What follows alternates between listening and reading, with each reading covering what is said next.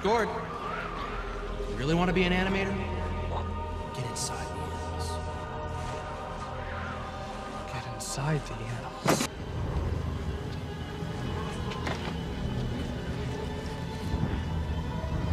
My workshop.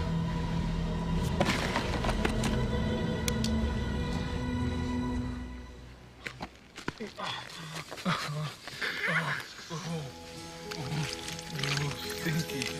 I'd like to build oh. the world a home and furnish it with love. Grow apple trees and honeybees and snow white turtle doves. I'd like to teach the